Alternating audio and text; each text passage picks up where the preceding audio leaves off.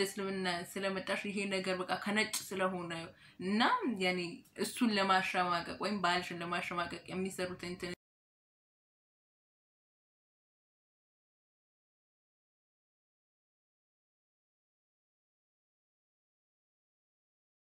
አሰላሙ አለይኩም ወራህመቱላሂ ወበረካቱ። ውድና የተከበራችሁ ውድ የእሸቱ ቤተሰቦች እንዴት ናችሁ? ደህና ናችሁ? እኔ ያለው አልሐምዱሊላ። እናንተ እንዴት ናችሁ? ጠፍቼ ነበረ እና መጥቻለሁ ማለት ነው። እንሻላ ካሁን በኋላ አልጠፋም እንሻላ። እና ለማንኛውም ዛሬ የመጣሁት ማለት ነው ማለት ተደጋገመ ያለ ማለፍ ሞክሬ ነበረ። ብቻ ግን ያኔ ተደጋገመ። ሲደጋገም ደግሞ በጣም ያስጠላል ማለት ነው። ያው ቲክቶክ መንደር ላይ ስለምን እንደሚወራ ያው ግልጽ ነው፣ ሁላችንም እናውቃለን ማለት ነው። እና በሱ ነገር ለማውራት ነው የመጣሁት ማለት ነው። እና አንድ ሰው አንድ የተሳሳተ ከተሳሳተ በኋላ share ማድረጉ ምናምን ህይወቱን ማበላሸቱ ምንም ጥቅም የለውም ማለት ነው። ስለዚህ እንጃ እንደውም ከቻላችሁ ያንን ቪዲዮ እንዲያጠፋው ብትጽፉለት ለልጁ ወይም እንትን ብትሉ የተሻለ ነው። ለዛ ምንድን ነው ባንጋሊ ነው ምንድን ነው ብቻ ግን ለሱ ልጅ ማለት ነው እና እንጂ ወደ ባሏ share እያደረጋችሁ የባንጋሊ ትራፊ የባንጋሊ ምን የባንጋሊ ምን እኔ ስም መጥራት አልፈልግም ማለት ነው። ምክንያቱም የማያውቁም ስላሉ እነሱም እንደገና እንትን እንዳይል ማለት ነው። እና ያወቃችሁም share አታድርጉ። በተለይ አሁን በጣም የታዘብኩት ነገር ምን እንደሆነ ታውቃላችሁ? የልጁ የባሏ ማለት ነው ስሙን አልጠራም ማለት ነው የባሏን እንትን ቪዲዮ የቆየ ቪዲዮ እኮ ነው share እያደረጉ ሚስትህ እኮ ምናምን ነገር ያኔ የዛ ባንጋሊው ነው ምን ብቻ ግን ስሙ አላውቅም ብቻ ነጩ ማለት ነው።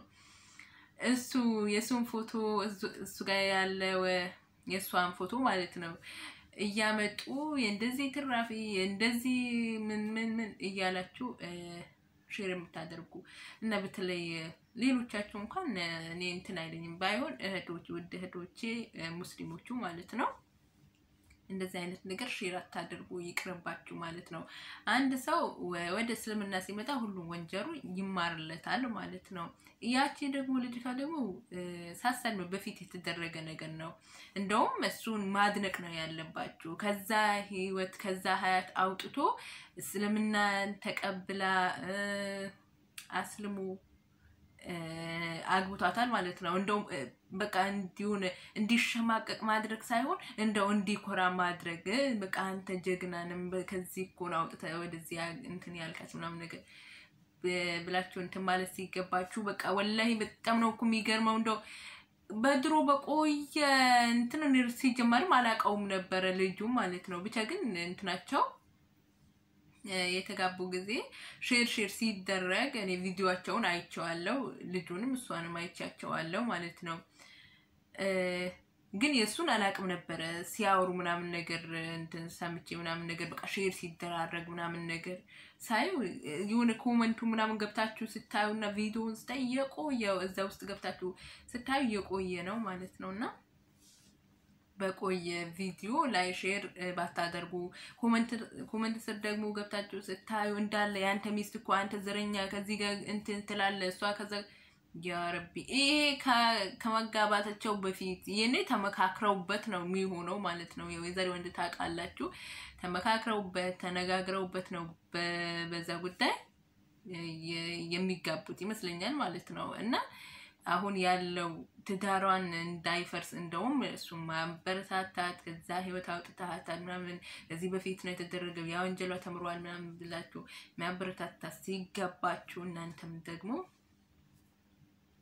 ምን ይባላል እና ለማንኛውም ማለት ነው ይሄንን share እንዳታደርጉ። በተለይ ሙስሊሞች በቃ በሱ ምክንያት አድርጋችሁ እንትን ትሰድቡታላችሁ። አንተ እንዲህ አንተ እንዲህ በቃ በሱ እንትን ልትሉት እኮ አይገባም። እና ሌሎቻችሁ ደግሞ ጠፍታችሁ የምትሰሩ ማለት ነው ተጠንቀቁ። ይህ ደግሞ አንድ እንትን ነው ትምህርት ነው።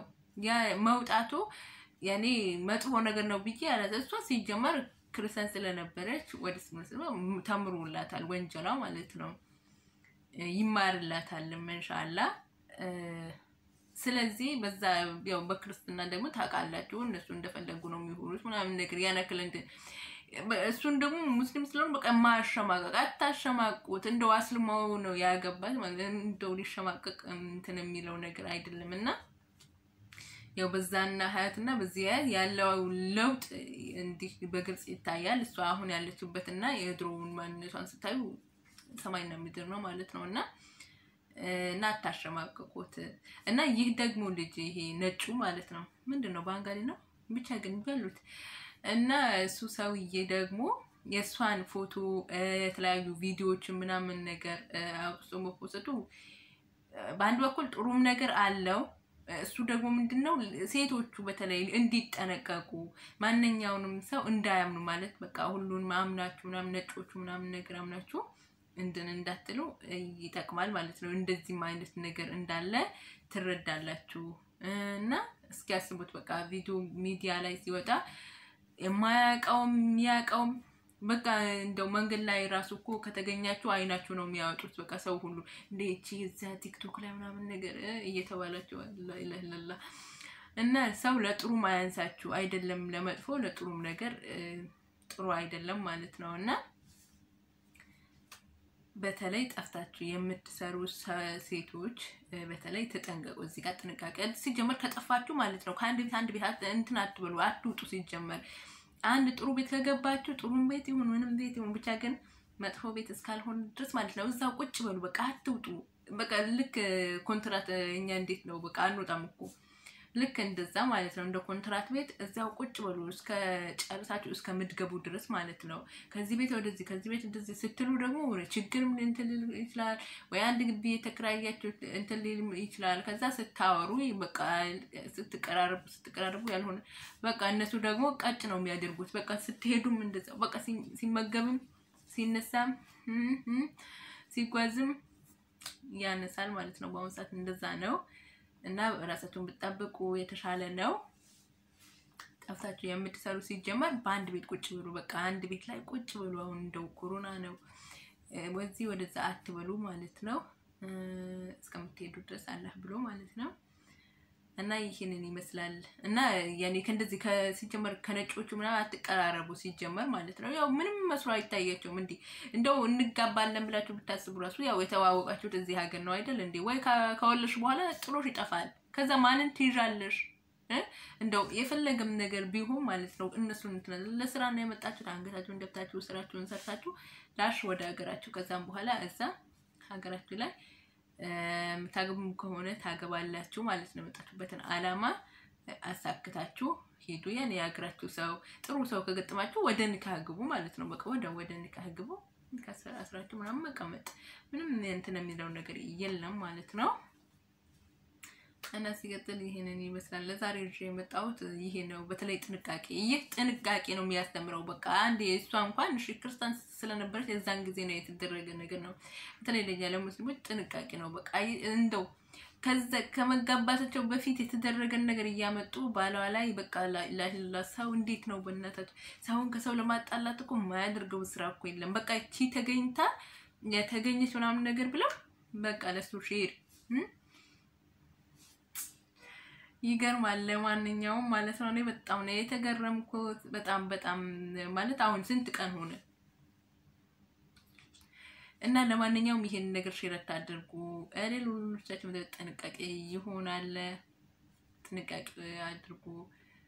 ከነጮች ጋር እንትን እንዳትሉ ብዙም እንዳትቀራረቡ ማለት ነው። በቃ ሙሉ ለሙሉ አትቀራረቡ ማለት ነው። እና በቃ ይሄንን ይመስላል። እና እሷን ደግሞ በድሮ ስሏ ደግሞ እንትን እንዳትሏት በቃ እንዲህ እንዲህ አንቺ እንዲህ ይሄኔ እሷም አሁን ሰዓት ከሚዲያ ጠፍታለች። ይሄኔ በዚህ እንትን ፈርታ ይሆናል። ምንም የሚያስፈራሽ ነገር የለም እናቴ። ይሄን ካዳመሹ ማለት ነው ወጥተሽ እንደፈለግሽው ይሄ የድሮ ያኔ ያው በክርስትና ምን አይነት ሀያት እንዳለ ያው ሁሉም ያውቃል ማለት ነው። ይሄ አዲስ አይደለም። ግን ወደ እስልምና ስለመጣሽ ይሄ ነገር በቃ ከነጭ ስለሆነ እና ያኔ እሱን ለማሸማቀቅ ወይም ባልሽን ለማሸማቀቅ የሚሰሩት እንትን እንጂ ያን ያክል እንትን የሚልሽ ነገር አይደለም። እና ለማንኛውም አንቺም አትሸማቀቂ ማለት ነው። እና ሙስሊሞቹም ደግሞ እንዲህ አይነት share አታድርጉም እንትንም አትበሉ። ይሄ የድሮ ሀያቷ እንጂ የአሁኑ አይደለም። አሁን ምን አይነት ሀያት እንዳላት ታውቃላችሁ። አሁን እንትን የሚል ነገር አይደለም እላችኋል። ለማንኛውም ይህን መሳል በተለይ ጠፍታችሁ የምትሰሩ ሰዎች እንትን ጥንቃቄ አድርጉ ከነሱ ከነጮች ጋር ማለት ዝም ብለው ስትሄዱም ራሱ በቃ እንትን ሊሉ ይችላሉ ማለት ነው ሊያነሱ እና ይህም ደግሞ ያው ቪዲዮ ምናምን ነገር እየተፖሰተ ምናምን ነገር በጣም እንትን ብለዋል። ለማንኛውም ለዛሬ ይዤላችሁ የመጣሁት ይሄንን ይመስላል። ጥንቃቄ አድርጉ። ያኛው ትምህርት ነው። በቃ በአንድ ነገር ተማሩ። በራሳችሁ እስከሚደርስ ድረስ አትጠብቁ። ይህ ደግሞ ትምህርት ነው እላችኋለሁኝ። ለማንኛውም ለዛሬ ይዤላችሁ የመጣሁት ይሄን ይመስላል። ቻናሌ አዲስ ሆናችሁ subscribe የምትለዋን በመንካት ደውል ምልክቷን ተጫኑ። ስለቀው ቪዲዮ ይደርሳችኋል። ቪዲዮን ደግሞ like አድርጉት። like like አድርጉት እላችኋለሁኝ። አላህ ብዬ ውድድ ነው ማደርጋችሁ። ከኔ በላይ አላህ ወድ ያስወድዳችሁ። አሰላሙ አለይኩም ወራህመቱላሂ ወበረካቱ